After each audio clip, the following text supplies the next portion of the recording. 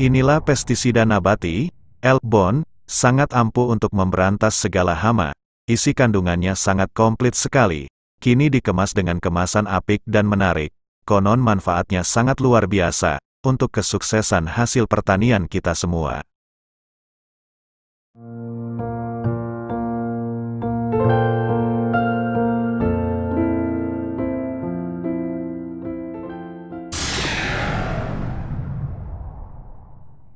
Kelompok tani bersama perusahaan mengundang petani untuk sosialisasi produk pestisida multiguna untuk memberantas semua hama dan penyakit pada tanaman. Petani bisa menerima secara teori sebelum praktek produknya.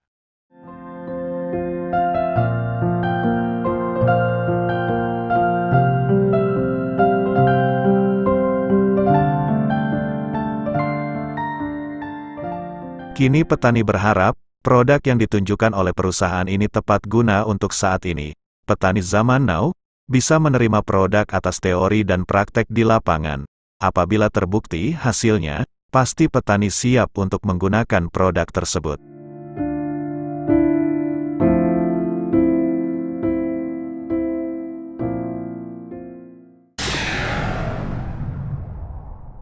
Bertatap muka bermuajahah dalam rangka acara kegiatan sosialisasi pada kesempatan malam hari ini serta dalam keadaan sehat walafiat. Salawat serta salam mari kita curah limpahkan kepada junjungan kita Nabi besar Nabi Agung Nabi Muhammad SAW kepada keluarganya, sahabat-sahabatnya, tabiin dan tabiatnya serta kita selaku umatnya. Mudah-mudahan senantiasa mengikuti ajarannya beliau sehingga nanti pada akhir zaman yaumil akhir mendapatkan syafaatnya. Amin ya rabbal. Betul nggak Pak? Betul. Tapi perusahaan Pak punya teori kalau nggak ada praktik Bapak sama aja bohong ya. Nah, jadi gini Pak, maksud tujuan harapannya mudah-mudahan informasi ataupun teori dari perusahaan yang nanti akan saya bawakan itu bisa disatukan Pak. Di dari siji kalau prakteknya Bapak nih lapangan. Sehingga mudah-mudahan harapan, keinginan, cita-cita perusahaan bagaimana mewujudkan meningkatkan produktivitas pertanian Indonesia. Itu semakin meningkat itu terwujud. Amin ya robbal amin itu dengan tangan bapak. Belum. belum. Kejaran wetan Baksana ataupun di Langut? Sono ya.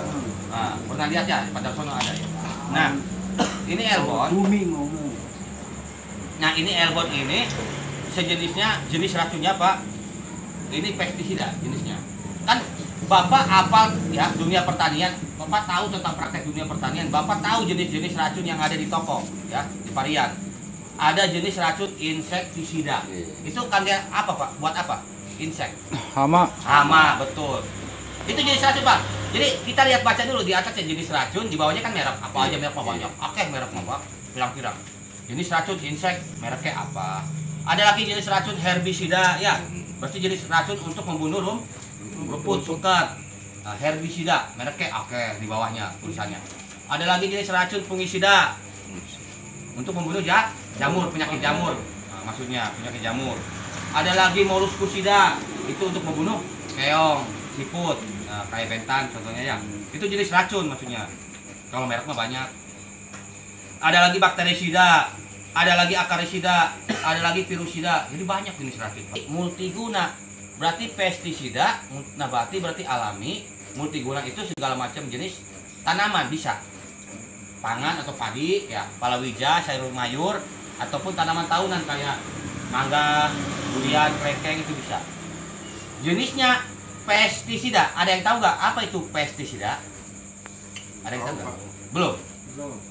Jadi tadi kan saya bilang spesifiknya kayak insek ya itu spesifiknya atau rinciannya lah nah kalau pestisida itu artinya pak semua semua zat kimia ataupun zat alami ya nabati yang digunakan untuk mengendalikan membasmi membunuh organisme pengganggu tumbuhan. Apa itu organisme pengganggu tumbuhan?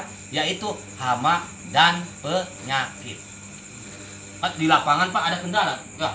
Dunia pertanian itu ada kendala yaitu hama karo penyakit hama itu apa satuan betul satuan makhluk hidup ada wujud ya katoning mata kelihatan oleh mata yang merusak tanamannya pak ya Wereng. tikus lah Wereng. wereng klepor, lembing, kungkang, siput, keong, ya ulet, ular, ya kalau sini ular ya. Nah, itu hama. Hama harus diapain, Pak? Gudusnya diapa kena? Pakai ini semprot.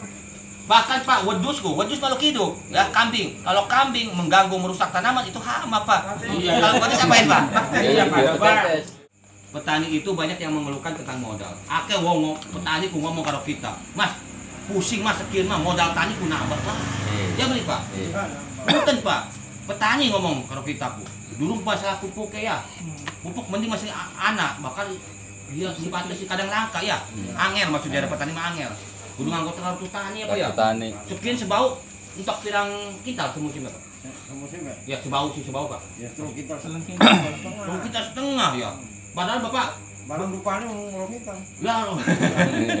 Padahal Pak, punten bengen wong tuanya kita, ya, wong tuanya kita kakek kakek saya lah.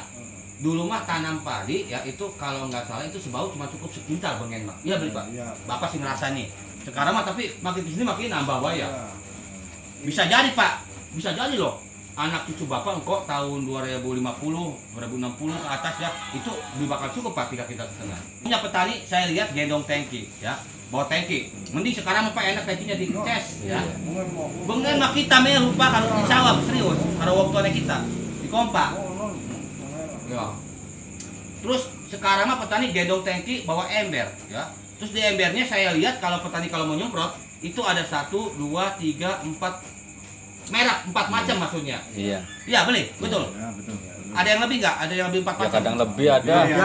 Ah, Macam ada. ada. Ada yang enam. Iya, Ada. Anak orangnya pak. Ada. Saya. Mau nggak pak banyak uang? Hmm. Enggak benar, banyak uang. Banyak. Bapak mau yang kelas mahal? Bisa. Tanpa ini bisa. Tapi nanti ada lagi. Ada lagi, ada lagi yang gitu pikirannya. Nah, ini buat menunjang. ini akan membantu kinerja racun Bapak di lapangan sehingga Bapak tidak usah menggunakan beberapa macam produk. Sehingga efek dampak terhadap tanah, terhadap kerusakan tanaman itu akan berkurang. Bahkan terhadap kekuatan hama itu akan turun drastis. Elbon namanya. Elbon ini termasuk jenis pestisida alami multiguna. Di sini ada beberapa jenis racun. Ada beberapa jenis racun. Elbon atau orang Brebes bilangnya lebon. Lebon itu Pak, kalau orang saya orang Sunda ya, orang Sunda Brebes itu bilang bahasa racun. Racun Pak artinya. Lebon itu artinya racun. Bengenku kakek saya, buyut saya, bengen kan lagi zaman penjajahan Belanda. Itu kita berperang sama Belanda itu ya nggak kayak bapak mungkin bapak mah orang tuanya mungkin perangnya pakai bambu runcing lah golok ya kalau orang kita orang Brebes itu bikin racikan bikin ramuan nah ramuan beracun nah ramuan beracun tersebut untuk materi penjajah itu sing arahnya lebon maksudnya Hmm, kalau bahasa sana gitu nggak tahu bahasa sini ya nah ini inspirasinya ya atas dasar nama lebon artinya ini untuk meracuni nah, nanti sifatnya lewat dalam nah, lewat dalam pak lewat dalam hama akan menurunkan kekuatan hama tersebut. Hama, ya. satu, ada kita menggunakan bahan insektisida. Artinya apa? Berarti untuk hama. Hama dulu ya, saya jelaskan. Insektisida di airborne, ini kami mengandung suatu zat senyawa yang namanya azadirachtin. Nah, Bapak kan tahu bahan aktif di setiap produk ada abamectin ya, ada sidametrin ya, apa ya, sering baca kan. Kami menggunakan azadirachtin, Pak. Apa itu azadirachtin? Azadirachtin itu adalah suatu senyawa ya, suatu senyawa yang dihasilkan dari proses metabolisme sekunder tanaman mimba, batang biji buah. Tugasnya berfungsi untuk membunuh hama secara kontak. Tapi ingat, tapi hama kategori jenis serangga. Kan hama itu banyak spesiesnya. Ada hama yang berlendir, ada hama yang menyusui pengerat, ada hama yang serangga, ada hama yang melata. Serangga itu berterbang, Pak, mabur, yang bersayap. Berarti azadirachtin fungsinya untuk membunuh hama yang serangga ataupun jadi petani yang si mabur. Kayak Lembing. apa?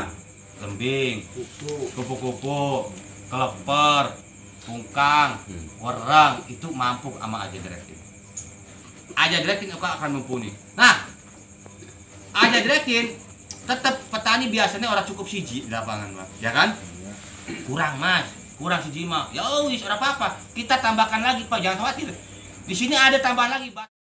Oke sedulur tani, itu tadi merupakan sosialisasi produk pestisida serbaguna, namanya Elbon, masih panjang durasinya. Namun yang terpenting, Petani berharap produk ini tepat guna untuk ketahanan terhadap serangan hama, juga bisa untuk meningkatkan hasil produksi pertanian kita.